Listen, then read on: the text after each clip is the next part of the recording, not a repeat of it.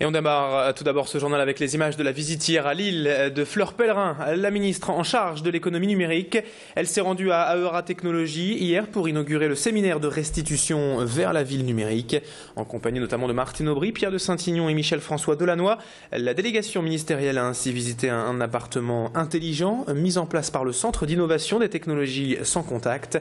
La ministre a par ailleurs souligné les enjeux de la ville numérique et de la ville intelligente, notamment en termes de transport, d'emploi, d'énergie et d'écologie. Écoutez les explications de la ministre Fleur Pellerin à propos de cette économie numérique au micro de Macha Grunessen. J'ai une très grande foi euh, d'une part dans la capacité de, l'économie numérique à, créer, euh, à être un levier de croissance et euh, de création d'emplois pour demain. Donc là, je pense que tous les, objets connectés et, les, innovations qui vont faire le logement intelligent de demain constituent à la fois un progrès social, mais également une possibilité pour nos entreprises, nos start-up ou nos plus grandes entreprises de trouver des marchés et, de prospérer davantage demain. Donc je pense que c'est extrêmement intéressant de pousser ce type d'innovation formation